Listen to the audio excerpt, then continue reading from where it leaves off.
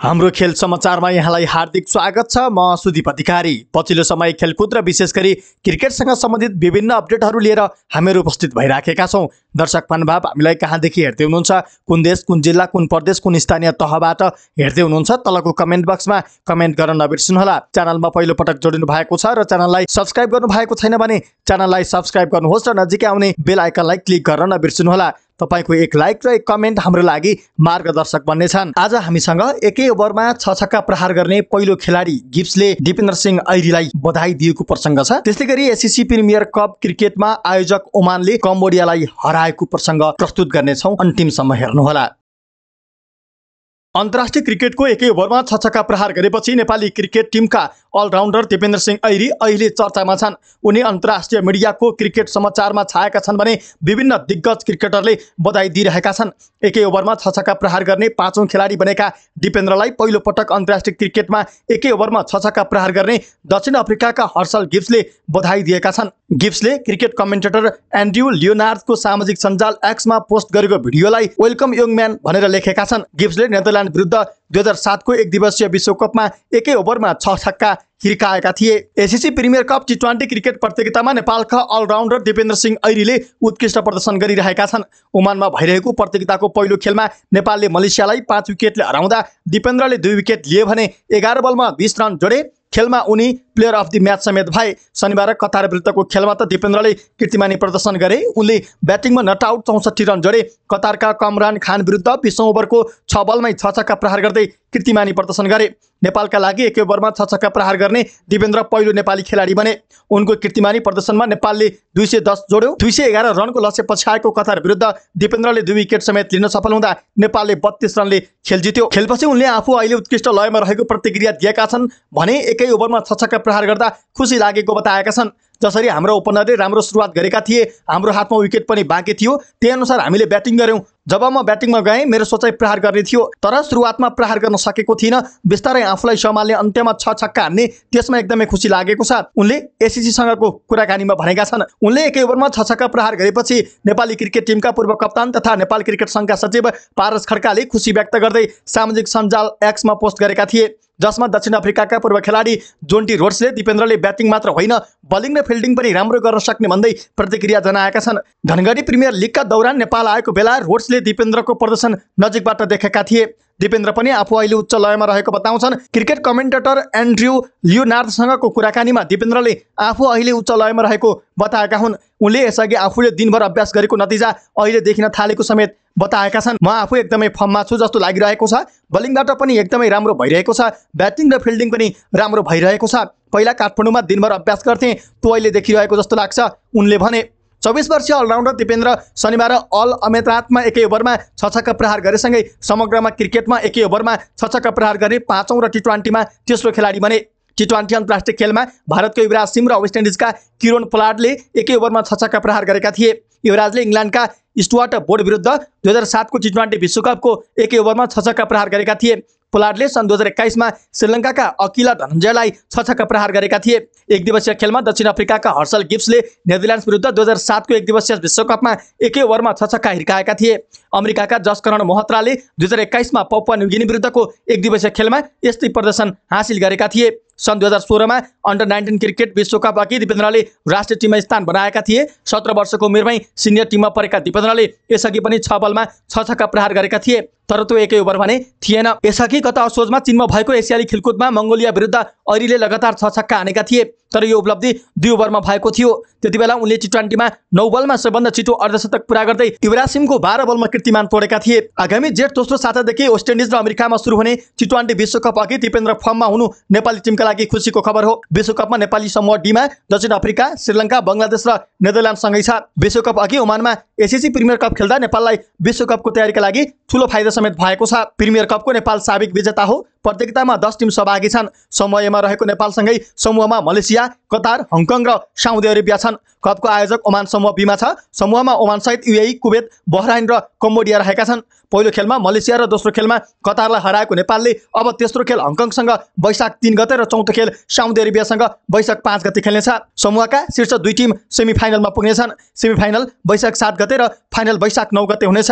यो प्रतियोगिता जित्ने टिम सन् दुई हजार पच्चिसको एसिया कपमा पुग्नेछ।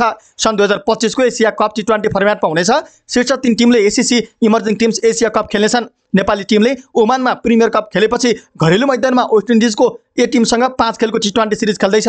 त्यसपछि नेपाली टिम विश्वकपका लागि अमेरिका जानेछ। ओमानमा जारी एसिसी प्रिमियर कप अन्तर्गत दोस्रो खेलमा नेपालले कतारलाई बत्तीस रनले पराजित गरेको छ। नेपालको यो प्रतियोगितामा लगातार दोस्रो जित हो। यसअघि शुक्रबार खेलिएको आफ्नो पहिलो खेलमा नेपालले मलेसियालाई पाँच विकेटले हराएको थियो। नेपाल प्रतियोगिताको साবেक विजेता पनि हो।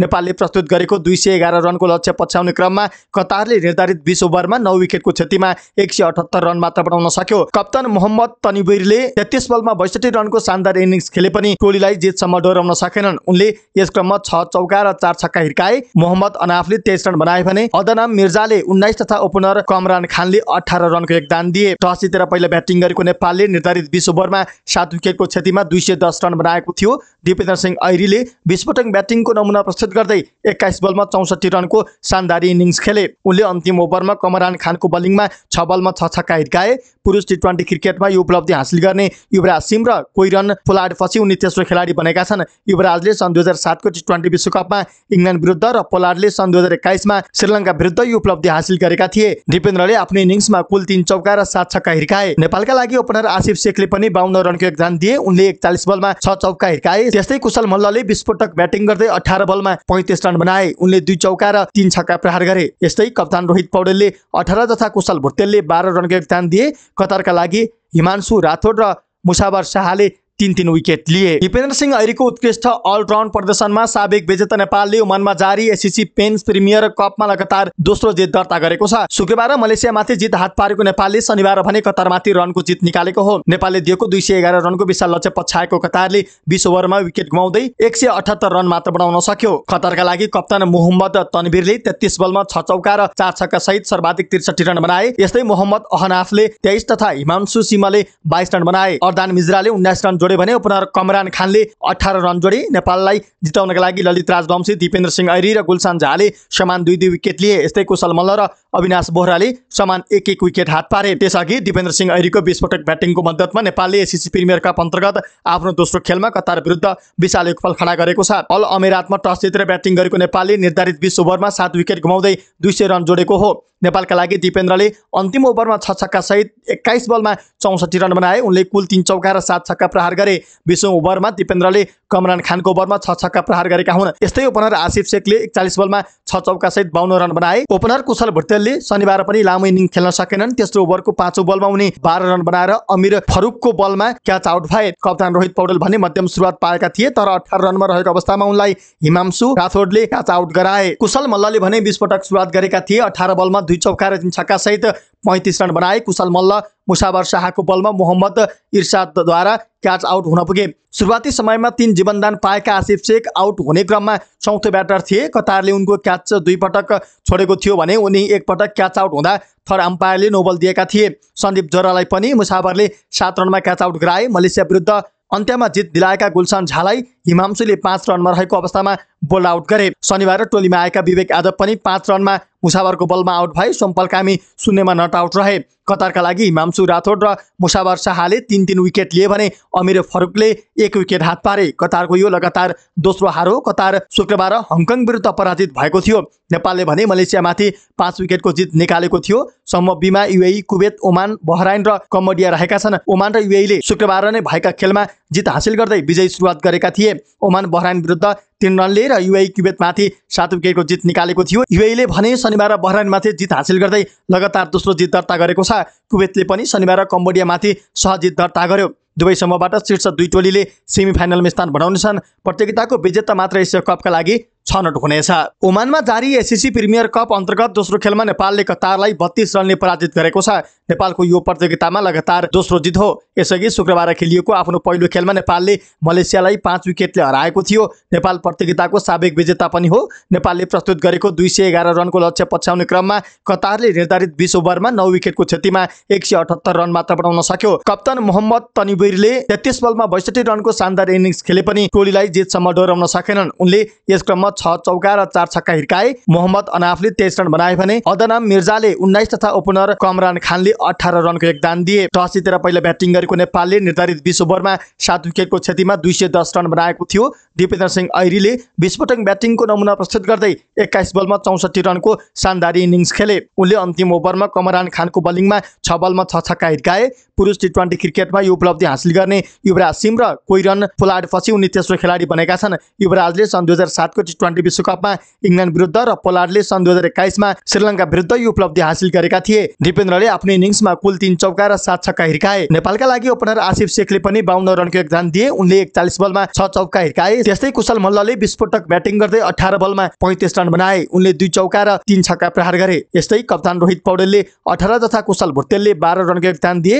कतारका लागि हिमांशु राठोड र मुसावर शाहले तिन तिन विकेट लिए। दिपेन्द्र सिंह ऐरीको उत्कृष्ट अलराउन्ड प्रदर्शनमा साबिक विजेता नेपालले ओमानमा जारी एसिसी पेन्स प्रिमियर कपमा लगातार दोस्रो जित दर्ता गरेको छ। शुक्रबार मलेसियामाथि जित हात पारेको नेपालले शनिबार भने कतारमाथि रनको जित निकालेको हो। नेपालले दिएको दुई सय एघार रनको विशाल लक्ष्य पछ्याएको कतारले बिस ओभरमा विकेट गुमाउँदै एक सय अठहत्तर रन मात्र बनाउन सक्यो। कतारका लागि कप्तान मोहम्मद तनवीरले तेत्तिस बलमा छ चौका र चार छक्का सहित सर्वाधिक त्रिसठी रन बनाए। यस्तै मोहम्मद अहनाफले तेइस तथा हिमांशु सिमले बाइस रन बनाए। अर्दान मिज्राले उन्नाइस रन जोडे भने ओपनर कमरान खानले अठार रन जोडे। नेपाललाई जिताउनका लागि ललित राजवंशी दिपेन्द्र सिंह ऐरी र गुलसान झाले समान दुई दुई विकेट लिए। यस्तै कुशल मल्ल र अविनाश बोहराले समान एक एक विकेट हात पारे। त्यसअघि दिपेन्द्र सिंह ऐरीको विस्फोटक ब्याटिङको मद्दतमा नेपालले एसिसी प्रिमियर कप अन्तर्गत आफ्नो दोस्रो खेलमा कतार विरुद्ध विशाल योगफल खडा गरेको छ। अल अमेरातमा टस जितेर ब्याटिङ गरेको नेपालले निर्धारित बिस ओभरमा सात विकेट गुमाउँदै दुई सय रन जोडेको हो। नेपालका लागि दिपेन्द्रले अन्तिम ओभरमा छ छक्का सहित एक्काइस बलमा चौसठी रन बनाए। उनले कुल तिन चौका र सात छक्का प्रहार गरे। बिसौँ ओभरमा दिपेन्द्रले कमरान खानको ओभरमा छ छक्का प्रहार गरेका हुन्। यस्तै ओपनर आसिफ शेखले एकचालिस बलमा छ चौका सहित बाहन्न रन बनाए। ओपनर कुशल भुटेलले शनिबार पनि लामो इनिङ खेल्न सकेनन्। तेस्रो ओभरको पाँचौँ बलमा उनी बाह्र रन बनाएर अमिर फरुकको बलमा क्याच आउट भए। कप्तान रोहित पौडेल भने मध्यम सुरुवात पाएका थिए तर अठार रनमा रहेको अवस्थामा उनलाई हिमांशु राठोडले क्याच आउट गराए। कुशल मल्लले भने विस्फोटक सुरुवात गरेका थिए। अठार बलमा दुई चौका र तिन छक्का सहित पैँतिस रन बनाए। कुशल मल्ल मुसावर शाहको बलमा मोहम्मद इर्सादद्वारा क्याच आउट हुन पुगे। सुरुवाती समयमा तीन जीवनदान पाएका आसिफ शेख आउट हुने क्रममा चौथो ब्याटर थिए। कतारले उनको क्याच दुई पटक छोडेको थियो भने उनी एकपटक क्याच आउट हुँदा थर्ड अम्पायरले नोबल दिएका थिए। सन्दीप जोरालाई पनि मुसावरले सात रनमा क्याच आउट गराए। मलेसिया विरुद्ध अन्त्यमा जित दिलाएका गुलसान झालाई हिमांशुले पाँच रनमा रहेको अवस्थामा बोल्ड आउट गरे। शनिबार टोलीमा आएका विवेक यादव पनि पाँच रनमा मुसावरको बलमा आउट भए सोमपल कामी शून्यमा नट आउट रहे। कतारका लागि हिमांशु राठोड र मुसावर शाहले तिन तिन विकेट लिए भने अमिर फरुकले एक विकेट हात पारे। कतारको यो लगातार दोस्रो हार हो। कतार शुक्रबार हङकङ विरुद्ध पराजित भएको थियो। नेपालले भने मलेसियामाथि पाँच विकेटको जित निकालेको थियो। सम्म बिमा युएई कुवेत ओमान बहराइन र कम्बोडिया रहेका छन्। ओमान र युएईले शुक्रबार नै भएका खेलमा जित हासिल गर्दै विजयी सुरुवात गरेका थिए। ओमान बहराइन विरुद्ध तिन रनले र युएई क्युबेतमाथि सात विकेटको जित निकालेको थियो। युएईले भने शनिबार बहराइनमाथि जित हासिल गर्दै लगातार दोस्रो जित दर्ता गरेको छ। कुवेतले पनि शनिबार कम्बोडियामाथि सहजित दर्ता गर्यो। दुवै समूहबाट शीर्ष दुई टोलीले सेमी फाइनलमा स्थान बनाउनेछन्। प्रतियोगिताको विजेता मात्र एसिया कपका लागि छनौट हुनेछ। यता एसिसी पुरुष प्रिमियर कप क्रिकेट प्रतियोगिताको आइतबार खेलिएको खेलमा घरेलु टोली ओमानले कम्बोडियालाई त्रिसठी रनले हराएको छ। समूह बी अन्तर्गतको उक्त खेलमा टस हारी पहिलो ब्याटिङको निम्त पाएको ओमानले निर्धारित एघार ओभरमा छ विकेट गुमाएर एक सय चौन्न रन बनायो। जवाफी ब्याटिङमा उलिएको कम्बोडियाले भने निर्धारित एघार ओभरमा सात विकेट गुमाएर एकानब्बे रन मात्र बनाउन सक्यो। प्रतियोगितामा ओमानको यो लगातार दोस्रो जित हो। ओमान चार अङ्कसहित तालिकाको पहिलो स्थानमा छ। कम्बोडियाको भने यो लगातार दोस्रो हार हो। पहिले ब्याटिङ गरेको ओमानका लागि ओपनर ब्याट्सम्यान नसिब खुसीले उन्सत्तरी रनको योगदान गरे। उनले केवल सत्ताइस बलमा छ छक्का र छ चौका पनि प्रहार गरे। कम्बोडियाका बलर श्रमण गोदारा उत्कर्ष जैन विमुक्ति विराजले दुई दुई विकेट हात पारे। जवाफी ब्याटिङ गरेको कम्बोडियाका लागि कप्तान लुकमान भट्टले एकचालिस रन बनाए पनि टोलीको जितका लागि त्यो पर्याप्त हुन सकेन। उनले एक्काइस बलको सामना गरी चार छक्का र एक चौका हिर्काएका थिए। ओमानका बलर अकेब इलियसले चार विकेट लिए। मोहरान खानले पनि दुई विकेट हात पारे। हामी खेलकुद र विशेष गरी क्रिकेटसँग सम्बन्धित थप अपडेट लिएर पुनः उपस्थित हुनेछौँ। त्यतिन्जेलसम्मका लागि हाम्रो न्युज हेर्दै गर्नुहोस्। नमस्कार।